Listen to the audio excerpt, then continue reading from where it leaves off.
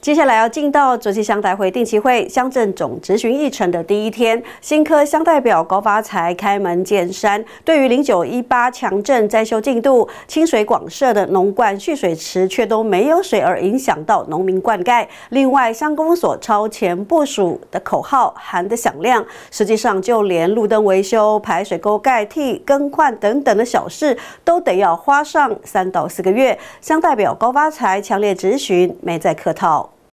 去年零九一八强震至今都已经过了八个多月，却仍有红丹土没动静，以及部落遭震毁的挡土墙仍维持灾损原貌。而另外，针对竹溪桥旁被震坏的传统石板屋样板，为依传统工法修复，乡代表高发财火大质询。其实里面它还有本身的柱子在那边撑着，所以我们在这张倒塌的时候，因为我们你们是做，我们进去看倒塌就奇怪，它怎么会倒塌这个样子？它进来里面，它没有撑撑住的柱柱子在那里，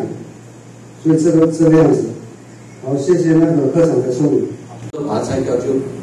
把石头叠一叠。可是我们我们乡长还有我们公所认为说，把它复原，让它成为一个观光的景点，让民众经过的时候，也让他们知道说，富农族的过去的传统家屋是一个石板，它，让大家有一种。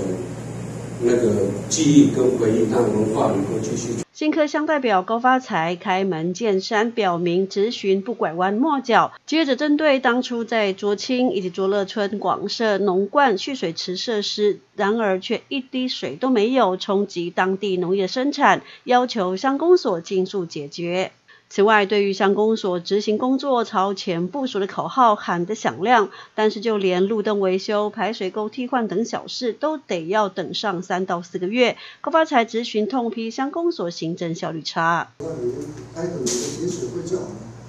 就那个每次到那个台风一雨就是节水会有问题。嗯，就是农灌呢，到现在他那边也是没有水。新科相待初登场，高发财执询活力十足，为民喉舌，督促公部门做好各项乡镇业务工作，才是真正的幸福卓西。